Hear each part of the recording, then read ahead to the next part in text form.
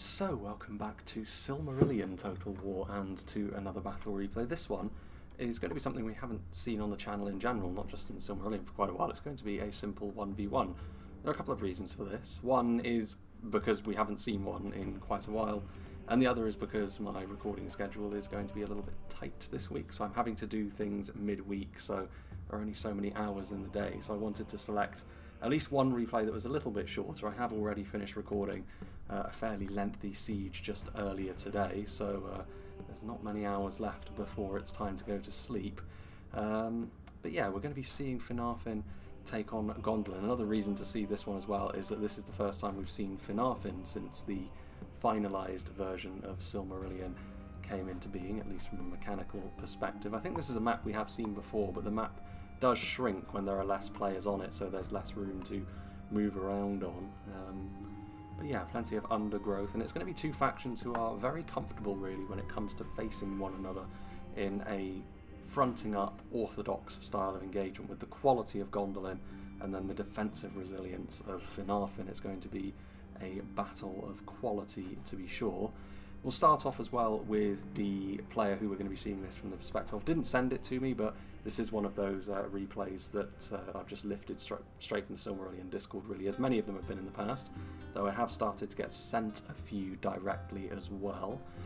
Gondolin then. Gondolin's front line, we have the shield bearers of the tower in and amongst the guardsmen of the heart. We have seen Gondolin a couple of times recently, and in those battles we haven't actually seen the shield bearers of the tower, which is a bit of a shame because they have a unique spear animation which makes them not quite as effective when it comes to fighting in formation and keeping people at bay as pikes are, but because of their very fast attack animation and just in general their ability to keep units at bay to an extent, they represent really a good alternative to that kind of unit. And considering the relative lack of phalanx units that Silmarillion has to offer, it does give Gondolin a nice option on the front line as well when it comes to soaking up punishment, which is going to be important against Finarfin because that's an area in which they are particularly strong. So Gondolin do need to front up to that in some way if they want to win this in the conventional manner to which they are accustomed.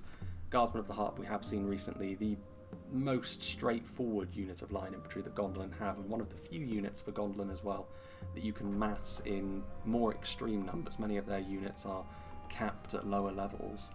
Marksmen of the Heavenly Arch, both sides on display today have access to heavier archers which are quite at home when it comes to skirmishing, which again is not given in Silmarillion. Many of the factions are not really suited for shooting one another at long range with archers, um, but both factions today will be. Marksmen of the Heavenly Arch, one of the best in that regard as well. They don't have anything too special about them at range, which is a little bit different when it comes to Finarfin. Um, when it comes to the pure conventionality of their heavy armour, um, they are very good when it comes to trading fire with the opposition. Not terribly surprised to see these guys either in the recent siege we saw in the ruins. Uh, they may have ended up on the losing side on that occasion, but the armourers of the Hammers of Wrath uh, very much find themselves at home when it comes to dealing with enemy armoured units, which Finarfin, when it comes to their higher end um, and the core really of their effective defence, uh, you would imagine that the armourers should be very good at dealing with them, as well as taking a decent amount of punishment as well with their shields and thick armour. Uh, same on the other side as well, more marksmen, more armourers, so a conventional formation there. Bringing two catapults is fairly expensive and pretty risky. It will force Finarfin maybe into moving around, which is not necessarily what they're best at doing, mobility and all of that. But it does mean that if the catapults are closed in on and Finarfin have superior infantry numbers, Gondolin are going to be dependent on some trickery to get themselves out of a bit of a hole. So we'll see if these catapults can do the business.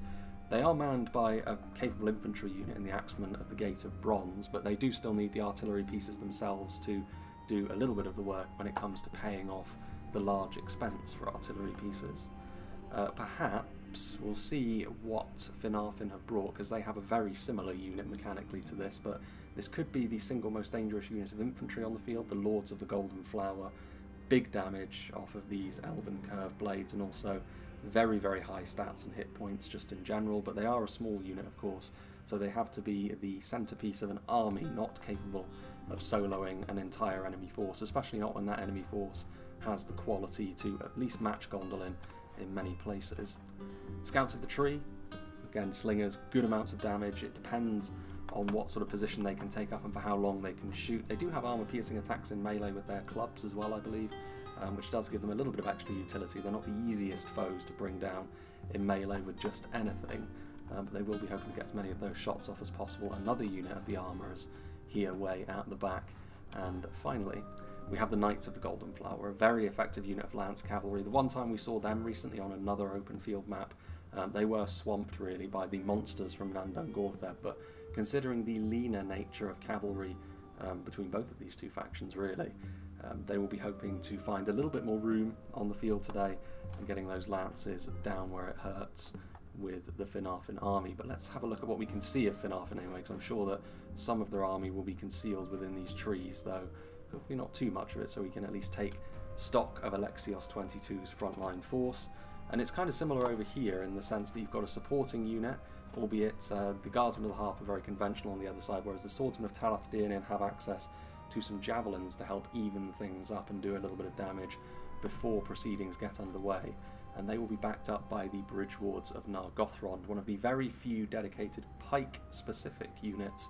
Uh, many of the Phalanx units, obviously I've already mentioned that Phalanx units in Silmarillion are fairly few and far between. Pikes even more so. Off the top of my head, there are still only three of them. Um, and the Finarfin ones are arguably the best. Um, again, they have maybe a little bit more finesse than the Naugrim offering. Um, the Naugrim being a little bit more plodding perhaps, but with the extra defensive uh, leverage that the, the armour gives them. Elven Pikes, of course, uh, well known for dealing a little bit more damage perhaps, although I'm not sure that's true in Silmarillion. Either way, it's not really that important. When it comes to a conventional frontline fight, if it does get bogged down, um, even the shield bearers over on Gondolin side will not be able to do much against the extreme range that the bridge wards do enjoy. Wardens of Nargothrond, a detachment unit of these guys, very, very good general spears, elite as well. They will need to concern themselves with units like the armourers on the other side, because as much as they are good defensively, those hammers will crack through a good amount of that defence given by their armour, but we'll have to wait and see how the engagement goes there. A single catapult, um, manned by the shield bearers of Ladros, so you can tell just from their weaponry that you, these guys, I'm sure, are armour piercing given the hammers that they wield. But similar to the Axemen of the Gate of Bronze, they can uh, do the business in melee if called upon, but you really do need the artillery to do at least some lifting before that proves to be the case. Just in behind we've got some defenders of Talath-Din and these guys javelin spear hybrids, unlike the swordsmen, going to be defending the flanks as well. Finarfin in general do indulge a little bit more in Silmarillion's love of the javelin unit, and that will be to their benefit here against the Gondolin quality. Company of Prince Gwindor, I don't think the enhanced charge bonus is going to be too significant on the field today, but we'll see. The Arqueni Mormagilwa are the similar unit of quality to the Lords of the Golden Flower on the other side. The Lords are the better unit individually, but the Arqueni, there are nearly double in the units, and ultimately they're both very strong elven two-handed swordsmen, so we shall see how they get on in their face-off today. We've got some more Wardens of Nargothrond in a detachment on the flank as well. A little bit further back, we've got some marksmen of Nargothrond. I believe they still have their specialty projectile, which will give them a little bit more attacking punch against Gondolin. Whether that will be enough to make the difference in the skirmishing, that remains to be seen. The catapults may have more to say about that than anything, though.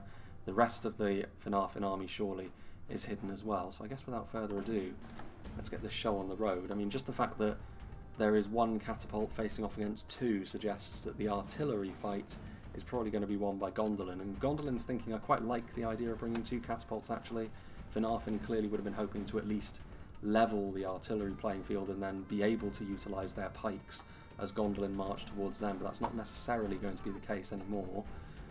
Could be going for the infantry front lines actually, trying to do damage to them first and foremost, but with limited hits being scored there and considering the sheer amount of projectiles being sent forth you would imagine that the artillery war is going to be won by Gondolin. Of course, single shot kills still very much the order of the day in Silmarillion, so artillery, focusing down artillery, probably still the thing that you're going to see more of. Getting into looser formation than they were, but still not exactly scoring tons and tons of kills. Everything else getting into loose formation, I mean, the artillery, and the artillery is getting crumbled pretty quickly. I mean, you can tell here that Alexios is going to lose the artillery duel badly. Even if Alexios had decided to engage in that face-off, he wouldn't really have fared much better, but you may have at least blunted Gondolin's ability to use their artillery, and ultimately not enough of the ammunition has been used up to the point where Finarfin can afford to sit back and safely take the damage that is heading their way. They are going to need to do something, um, and they may be forced onto the attack. I think this is the Lords of the Golden Flower indeed, or Knights of the Golden Flower I should say, that are potentially going to try and take the long route around, but Pantham will be very pleased with how the initial phases of this battle have gone. Marksman of Nargothrond peeling off to the side. Alexios, of course, who recently, the most we've seen of him has been in the ongoing Reforged tournament, and been doing very well also, but it's not the best of starts for him here. Interestingly enough, ever since the catapult was reduced to only one artillery piece, they've been doing a little bit better for themselves. Again, falling just short. Excuse me. Ooh going for the big prizes now, and only just missing the Lords of the Golden Flower, denying, well, any good hit on these guys is a lot of value gained very, very quickly. But it's a more difficult shot to make. Oh, but they have made it. Even only three of them falling by the wayside is a big deal. So far, both sides still content to simply trade blows from afar artillery, even in modern warfare, is the uh, the go-to after all. Now the infantry starting to move forward. One of the artillery pieces may be using all of its ammunition up, and now the Axeman will have to do their part in melee. But worrying if that's the case, actually, from a Gondolin perspective, or maybe it is merely a ruse.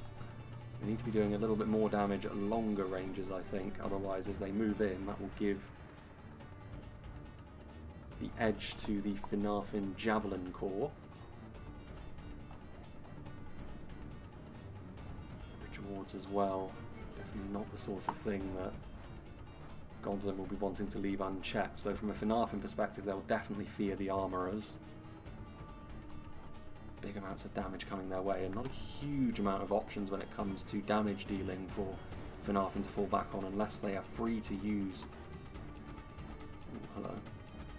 Knights the Golden Flower flanking around. I mean, defenders of Talath Dirnen utilising themselves as a defensive shield while the marksmen of Nargothrond start shooting at the knights. No cavalry presence for Finarfin means that they are going to have to engage in this. Essentially a game of whack-a-mole with the Knights of, Gold of the Golden Flower and trying to keep them at bay. Both sides still manoeuvring for advantage. Neither side wants to begin the melee engagement on the back foot because if they do, Gondolin will end up trapped on the front line against javelins and pikes, or Finarfin will end up having their flanks overrun by units of extremely dangerous and armour-piercing infantry. Neither side can afford too much of that. Marksman of the Heavenly Arch going to start testing the front line, which will be enough to convince Finarfin to move forward, but it will also stretch their army quite a lot. The marksmen and defenders of Talath Dirnen will be quite a long way away still marshalling against the presence of the Gondolin cavalry. The swordsmen, they will be hoping that they can at least get one javelin volley off, but Gondolin have judged this quite well. They've moved their archers in to do the damage, and ultimately the javelins will get some shots off, but not to the extent not to the not with the clear sight line that they would have been hoping for. The guardsmen of the harp and shield bearers of the tower getting into place and so the all-important line engagement begins. An environment where both sides are at home as we've said Arquani Mormagil are getting targeted by the scouts of the tree and it's far better to commit your units into melee rather than allowing them to simply wither on the vine catapult crewman the Axeman of the Gate of Bronze getting involved here both catapult crewmen facing off against one another actually. Shield bearers of Ladros may be a little bit more of a threatening unit just because of their weaponry, but numbers still in favour. See in the distance there, the Knights of the Golden Flower We'll keep one eye on that, but the Marksmen of the Heavenly Arch dictating the early pace and then the slings also helping out. Gondolin's initial line will struggle against the catapults. Catapults, the infantry, or, or the phalanx, I should say. Bridge wards, and then the Arqueni Mormagilwa here in the middle as well. I mean, Gondolin do have reserve lines they can bring up where Finarfin kind of don't, but this is only really useful if you have the numbers to actually make those reserves relevant. The armourers will, or should, crush this under strength unit of Horns of Nargothrond under their heels. But some reinforcements, the scouts of Taur-en-Faroth, a unit of lighter archers revealing themselves, one of the units that Finarfin had in reserve skulking around in the trees. Meanwhile, there went the Knights of the Golden Flower routing off very, very quickly, and that clearly a result of the damage from the javelins coming in. They did manage to land a charge on the marksman, but definitely not worthwhile a trade. Showbearers the tower struggling. They're going to need more warm bodies on the front line here, Gondolin, if they hope to be successful. I think their skirmishers had the better of it early on, but that's becoming far more of a contested thing now that the marksmen, with their split shots, are having their say. Finarfin starting to spread their wings a little bit as well. So they won't be committing reinforcements to the front line as such, Finarfin. But they will be trying to use their what little reserves they have to flank around and put extra pressure on Gondolin. Some of these exposed units of Bridgewards not doing quite so well, where Gondolin are able to condense their forces and crack through the phalanx in places. Just behind marksmen, still going about their business heavier units of archers always going to be a potential problem. These are axemen struggling on the flanks as well. So Finarfin will still be happy. We'll see if those ca um, cavalrymen return. If they do, then the surprise hammer and anvil strike Alexios suffers could be fairly deadly. More reserves coming forward from Gondolin now, and again the all-power, the all-conquering armourers of the hammer I shouldn't say that though, but these defenders of Talath Dearden, so far House of Finarfin using their javelins to good effect. More conflict happening on the flanks, again more of the Lightfoot units trying to win out over here. Scouts of the Tree chasing off the Scouts of Taur-en-Faroth, and I think actually the cavalry has returned because you can see it arriving in the distance and they will connect nicely with the marksmen of Nargothrond far safer bet when it comes to charging these guys than it is to charge into the defenders of Talath Dirnen, but will the Knights last too much longer under attentions like that? I don't think so. Have to say they certainly haven't paid for themselves, and the Catapult crew arguably hasn't either, and these are expensive high-ticket units. Finarfin, depending on Units like pikes and javelins may end up being the winning ticket here, but there's still plenty of time left in this battle to go, relatively speaking. Armourers in business. Marksmen of the Heavenly Arch, of course, can certainly contribute in melee as well. Their defensive prowess twinned with their two-handed sword, giving them a bit of an edge in melee, and defenders of Talath won't relish the chance to face them. Go. Still some pressure being put on in the back lines as well. Knights the Golden Flower ever dwindling. The company of Prince Gwindor now also being committed. Maybe a little bit more of a dependable sword and board unit. Dedicated after all, but lacking that javelin that the standard swordsmen of Talath Dirnen do possess. To give the Knights their credit, in spite of the fact they've had a rough ride of it against projectiles and spears in this battle, they have at least stayed active up until this point. Arqueni peeling themselves off the front line. Interesting, really, considering the fact that they're the only unit that can go toe-to-toe, mano-a-mano with the Lords of the Golden Flower, but Javelin's hoping to do their thing. Some of the units becoming shaken. It's going to be a question of staying power for Finarfin, which usually they're very, very good at, but having to stand and face one of the more dangerous forces that Silmarillion has when it comes to a more straight-up engagement such as the one we're seeing here. Company Prince Gwindor doing a decent enough job, but they're going to find themselves overmatched after a certain period of time. Wardens of Nargothrond doing their thing, marksmen as well, but since the arrival of the marksmen and the final significant commitment of reinforcements. The catapult crew and the scouts the tree really the last units Gondolin have that they can commit to a position. But the overall quality, I think, is in Gondolin's favour here.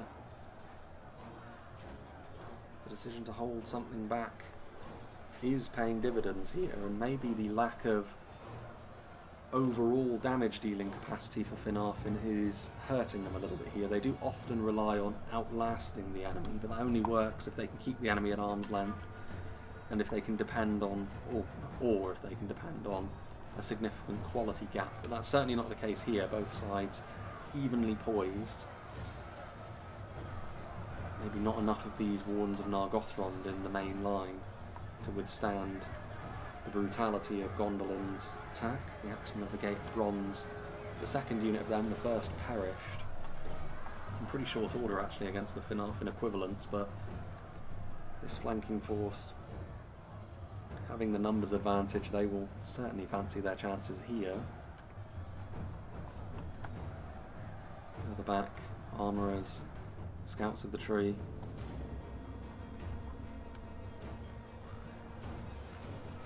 so still in reserve. To be fair, Marksman having the arch starting to suffer a little bit, and that can be attributed to the supporting shots from a depleted unit of Marksman Nargothrond, but it's enough.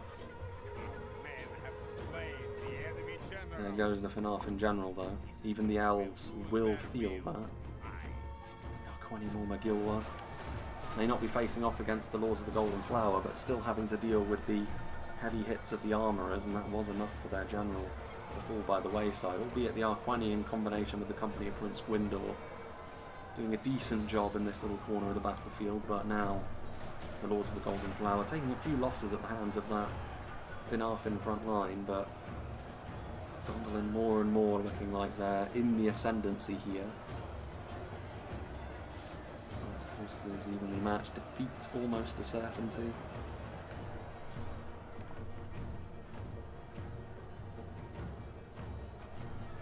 Finarfin at this point really don't have the damage dealing capacity to see themselves over the line. I think it would take a numbers collapse of some description from Gondolin with some defenders of Talath Daenin arriving on the flank. I mean, decent numbers of units with a hundred. These are the sort of margins that can make a difference considering neither side is exactly blessed with limitless numbers. They're both certainly the sort that will dip into quality more often than not. Prince Gwindor taking some friendly fire hits really, but this is the biggest concentration of Gondolin forces and it also includes the most dangerous singular unit that they have. Shots coming in from the other split shot projectiles as well. Marksman having the arch shaken on the flank. Fans of Talath Daenin doing a decent job, fighting them pretty much to a standstill. The Wardens of Nargothrond offering their particular brand of damage as well with their spears. And after the scouts of the tree, far more likely to result in kills, and also you can't really let them be considering the fact they're going to be firing sling ammunition at point blank, so Finarfin doing their best to try and deal with the Gondolin infantry as and where they can. Over here, armourers of the Hammer of Wrath. I'm going to be calling them Hammers, plural of Wrath, for the last couple of battles, which again, a mistake. These Wardens of Nargothrond, despite being detachments, again, showcasing how good they are. They can keep themselves alive, but they can also dish out that damage. Beauty of being elven spears, I guess. They are going to struggle still against the sheer numbers that are crashing against them here. Defenders of Talath Daenin need to help hold, need to help them hold the flank, but the Talath Daenin units are the first instance of where the loss of the general is likely going to start to bite.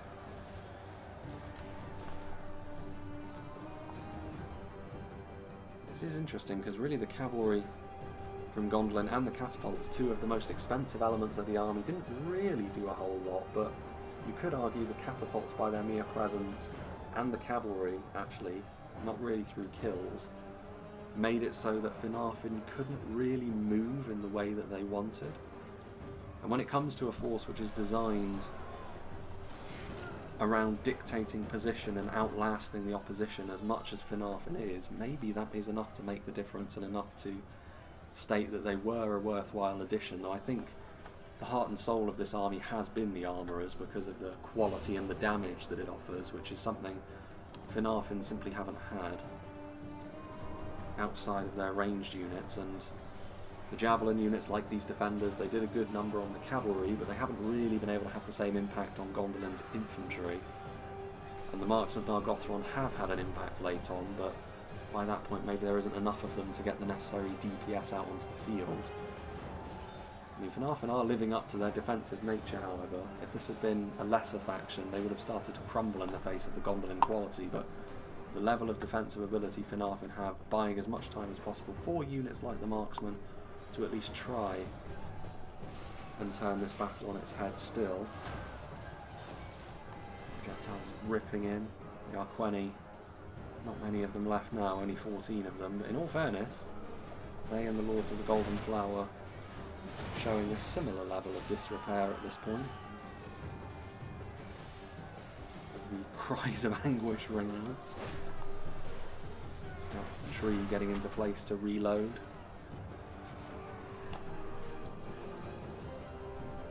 They quietly had a decent influence on this battle as well. Now the battle becoming stretched out. I mean, in all fairness, these wardens are actually winning their little engagement. There's still a few bridge wards among their number as well, and marksmen of Nargothrond also. As a matter of fact, between them, the defenders of Talath Din, and the marksmen, they are actually going to win over on this flank, and they may as well put all their eggs into this basket, I think, at this point. In fact, they're winning on this flank to such an extent that Finarfin may yet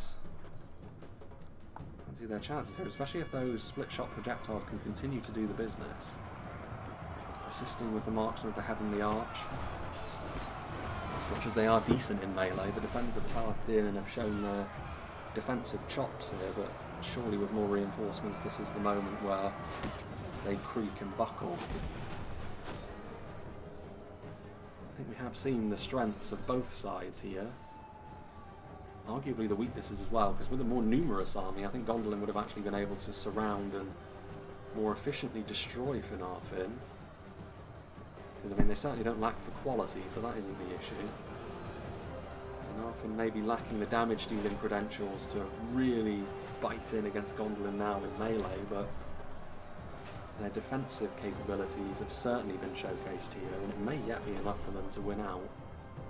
Scouts the tree doing their thing here. I mean, the Marksmen of Nargothrond later on have certainly proven their worth as well. Slings bouncing off the armour, armourers of the hammer peeling themselves off the remaining Finarfin infantry. I think they realise, Gondolin, that if they can disable these marksmen of Nargothrond, it doesn't give Finarfin that many options when it comes to continuing their fight back. Hands of Wrath surely going to be laid low now.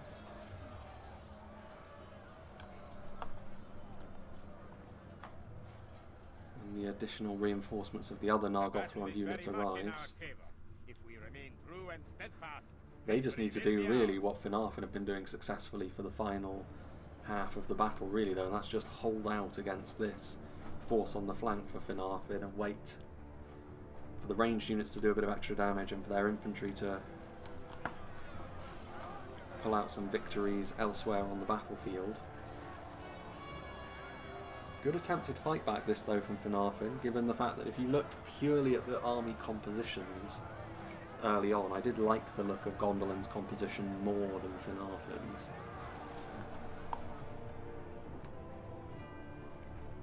Gondolin have a more varied roster anyway, so they do have more options when it comes to trying to make the correct selections, but I think Panthan has done that here. And the armourers continuing to crack in against that Finarfin armour. Scouts the tree continuing to do their thing as well. They do damage at a slower pace of course, but they've been getting consistent shots. Yeah, the announcer fancies their chances and so do I. Still want the quality of the infantry up here, but still refusing to die completely are these Wardens of Nargothrond. Maybe the maybe the true MVPs of both sides, really, because without a unit with these credentials, I don't think Finarfin would have done as well as they have, even in defeat here in this battle.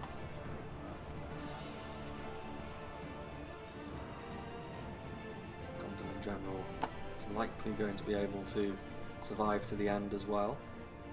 Finally the Warden's break. Two marks of the Heavenly Arch still live from the other unit. At this point, I'm trying to accept the damage, but I mean, it's not as if they have much of a choice at this point Finarfin. The battle is now beyond them. There isn't really anything they can do to reverse their fate, as much as they tried in the midsection. What could they have done differently? Maybe the double artillery pick was the right call for them, to be honest. But I don't think their javelins really got...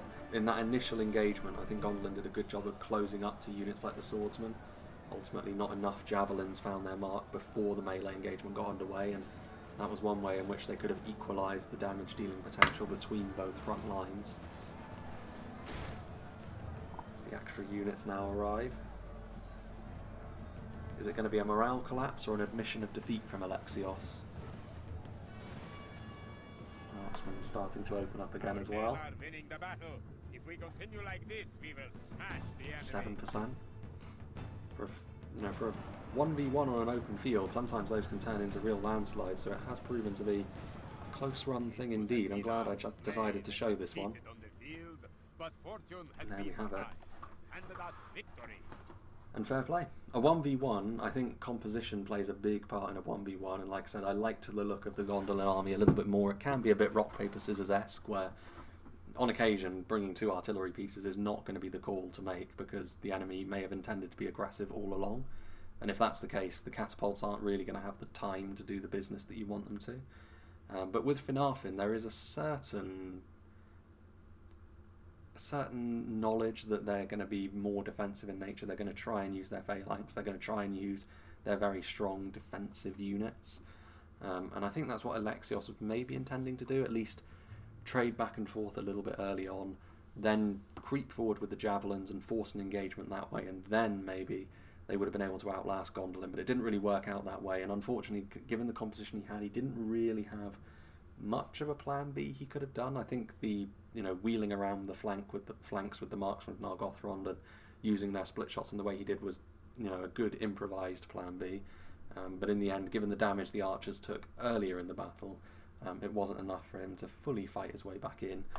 But it was a good attempt nonetheless, and a good battle indeed. Let's see what did the damage for Gondolin. Shield bearers of the tower were a decent front line. Ultimately, that first front line was more of a sacrificial one, and the second line were the true damage dealers. Although in the end, the shield bearers and the guardsmen of the harp ended up getting more kills than the armourers. I think the armourers, um, you know, the hefty blows that they rained down were important. Guardsmen of the harp 151 as well. Knights of the Golden Flower could have been an expensive mistake, but again, I think just them, the mere fact they were there meant that some of the javelins and some of the archers that could have been helping the front line right when the engagement started, they were ultimately too far away, and Gondolin ultimately reap the rewards of that as well. Whether that's enough to justify spending the amount of, that the Knights of the Golden Flower cost you is another matter, but they did end up doing um, getting some value in a way that wasn't just outright kills. Um, it was actually the Marksman of the Heavenly Arch that ended up with the most kills in the long run, good at range and decent in melee as well. So yeah, big thank you to the Silmarillion Discord for allowing me to show these, and big thank you to Panthan and Alexios as well for uh, posting this battle up in the replays channel on the Silmarillion Discord and allowing me to show it. Um, and yeah, been a while since we've seen a 1v1, and I'm glad that that's the first one that we've seen in a little while, because that was a good quality one indeed.